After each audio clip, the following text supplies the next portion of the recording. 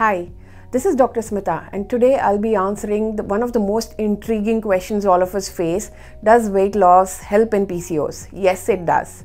And it not only reverses the metabolic damage caused by PCOS, but also reduces the risk of developing diabetes and the risk of cardiovascular disease. But losing weight is easier said than done. What we need is a holistic approach with diet, exercise, as well as certain medications like metformin and antioxidants. In terms of physical activity, the IOM recommends 10,000 steps per day. A small step can go a long way.